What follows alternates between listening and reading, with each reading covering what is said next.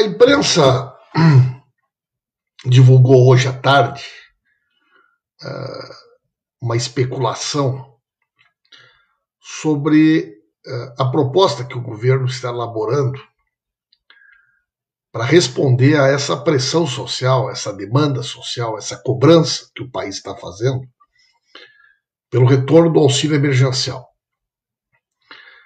Como vocês sabem, é, durante o ano de 2020, o auxílio emergencial impediu que o país mergulhasse definitivamente num caos econômico e sanitário. E sanitário. Muitos aqui, com certeza, receberam auxílio emergencial ou conhecem pessoas que receberam auxílio emergencial. E, aliás, esta é uma, uma política que tem sido adotada não só no Brasil, mas praticamente todos os países têm pensado algum tipo de iniciativa, algum tipo de política para responder a, a esse momento tão delicado tão difícil da nossa economia. E é sobre isso que eu quero conversar com vocês. Sobre que proposta é essa que o governo está pensando e tentar detalhar um pouquinho com vocês para a gente poder juntos entender né, o que, que o governo está pensando, o que, que o governo está propondo. Antes disso, eu quero pedir que vocês possam me informar a cidade da onde acompanham a nossa transmissão Celene Terra, a cidade, possam me informar como é que está chegando a qualidade do áudio, como é que está chegando a qualidade do vídeo, né? E colocar a hashtag aí fora Bolsonaro, colocar a hashtag fora Bolsonaro, que é uma hashtag forte, né? E que sintetiza aquilo que é fundamental. Eu quero ser bem sincero com vocês minha querida amiga Chica, que está lá em Juiz. Quero ser bem sincero. Eu não, acredito, eu não creio, Mari, eu não creio que seja possível enfrentar a crise sanitária, a crise econômica, a crise política que nós vivemos hoje no país sem tirar o Bolsonaro. Eu não acredito sem tirar o Bolsonaro. Né? Eu acho que a presença do Bolsonaro ela, ela é um entrave, né? ela impede que a gente possa construir uma política que permita o país sair da, da crise. Né? Então vamos lá. O governo quer criar um auxílio emergencial, seriam três parcelas de 200 reais e exigência de curso. O nome seria bônus de inclusão produtiva. Tá? Pressionado a fazer novos pagamentos do auxílio emergencial, o governo tem uma proposta. São três parcelas de 200 reais. Receberiam trabalhadores informais, não atendidos pelo Bolsa Família.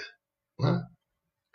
Seriam três parcelas de 200 reais para trabalhadores e trabalhadoras que não estão né, contemplados com o Bolsa Família.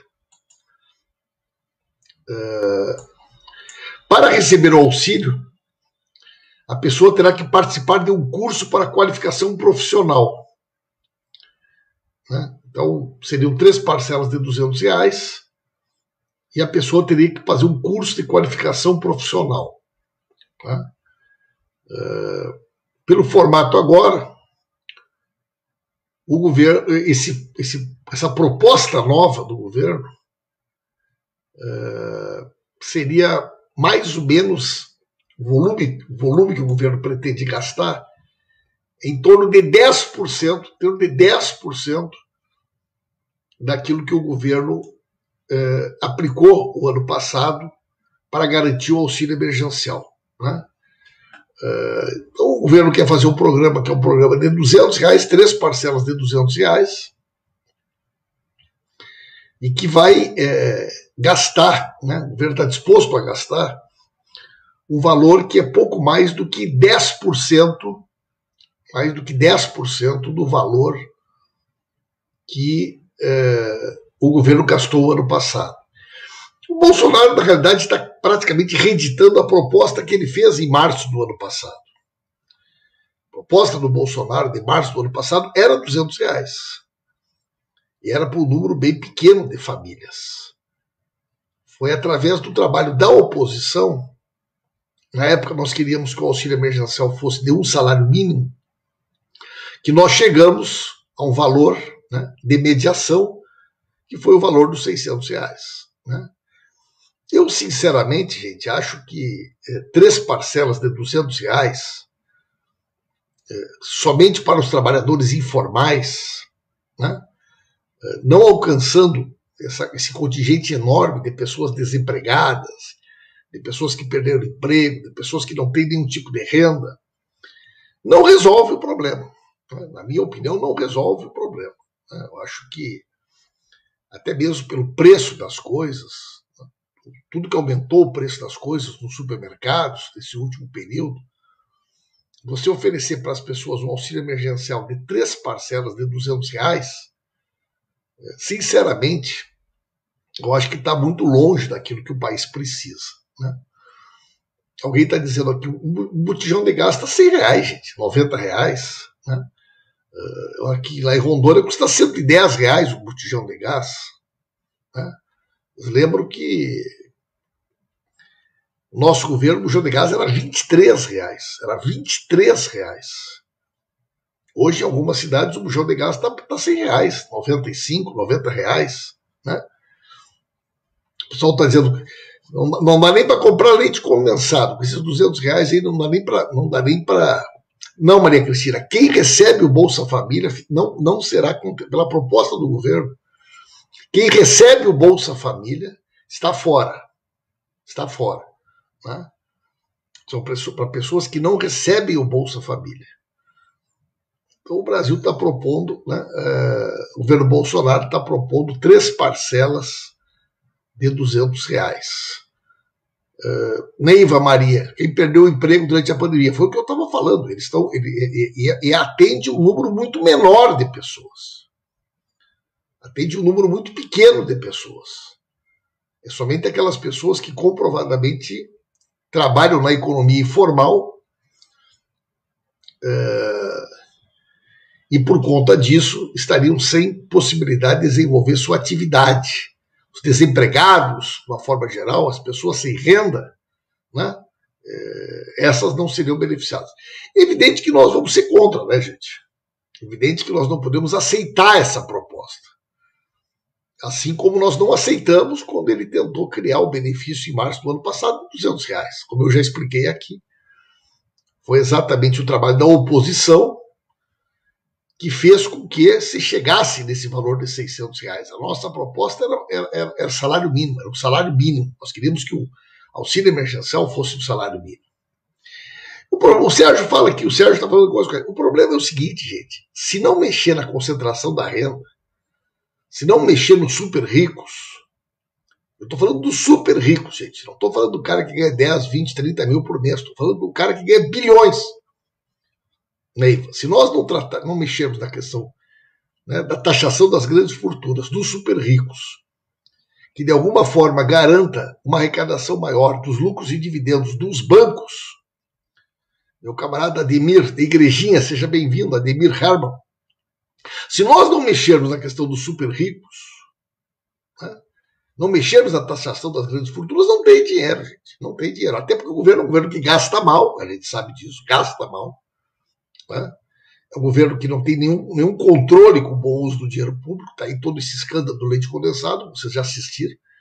As barbaridades do que esse governo está fazendo com o dinheiro público, né? não só leite condensado, comprando chiclé, né? batata frita, azeitona, amendoim torrado, tudo isso com dinheiro público, gente.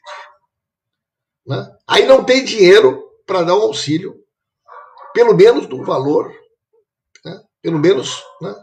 Uh, de um valor que as pessoas possam garantir um mínimo, um mínimo da sua própria sobrevivência.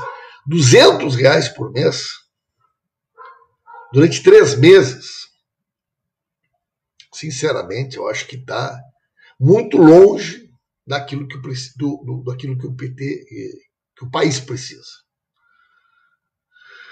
Né? 200 reais para três meses como auxílio emergencial, esta proposta, que é a proposta que o governo Bolsonaro está fazendo, a pessoa teria que fazer um curso de qualificação, vai fazer aonde esse curso de qualificação? Vai fazer aonde? E depois se integra no mercado de trabalho aonde, gente? Aonde? Meu querido Carlão, lá da Palmeira das Missões. Quer dizer, há um, um índice de desemprego no país. Né? Ajuda dizendo que morreram cinco pessoas da família dela o vírus assassino. Né? É, muita gente, né, gente? Muita gente perdendo a vida, muita gente sofrendo as consequências dessa doença, e um governo totalmente insensível, um governo totalmente insensível, né? E que agora vem aí com essa proposta de três parcelas de 200 reais, né? Então, né? Uh, realmente a gente fica até um pouco incrédulo, né? Porque a gente sabe que muita gente votou no Bolsonaro acreditando no Bolsonaro. O Bolsonaro, gente, o Bolsonaro é, é, é o maior 171 da história do Brasil. O Bolsonaro é o maior 171 na história do Brasil. Né? Uh, as pessoas que votaram no Bolsonaro, elas têm vergonha de terem votado no Bolsonaro. Elas têm vergonha de terem votado no Bolsonaro. Muitas delas já têm vergonha. Né? E aos poucos, muitas outras também vão né, uh, ir se, se esclarecendo, né, se dando conta do erro que foi votar nessa figura perversa aí, né, que está à frente do nosso país. Gastaram uma fortuna agora na eleição para presidente da Câmara. Né? Meus irmãos, Queridos companheiros e companheiras, quem ainda não curtiu, pode curtir, quem não, não, não compartilhou pode compartilhar. Me diga a cidade, a cidade da onde você acompanha a nossa transmissão e coloque a hashtag Fora Bolsonaro. Coloque a hashtag Fora Bolsonaro. Né? É isso, gente. Tá aí a proposta do governo. Três parcelas de 200 reais. Né? Uh, tem gente que. Eu, eu gosto de ver que tem uns bolsonaristas que vêm aqui atacar o PT, vem atacar o PT, né? Como se atacar o PT nessa hora fosse ajudar a resolver o problema, né? Como se atacar o PT nesse momento fosse ajudar a resolver o problema. O Bolsonaro tem que governar, gente. Antes do Bolsonaro teve o Temer. Vocês diziam que era só tirar a Dilma e todos os problemas do país estavam resolvidos. E a verdade é que a vida das pessoas só piorou. Só piorou. Então, não, eu não vou aceitar essa proposta aí de auxílio emergencial. Três parcelas de 200 reais não dá para aceitar. E nós vamos construir uma outra proposta. Carol, ô oh, Carol, lá do Passo Sobrado, seja bem-vinda. Né? Lauro, São Lourenço está aqui conosco. Hum, é... Não podemos aceitar, de jeito nenhum. Essa proposta é indecorosa, é inaceitável. Forte abraço, povo.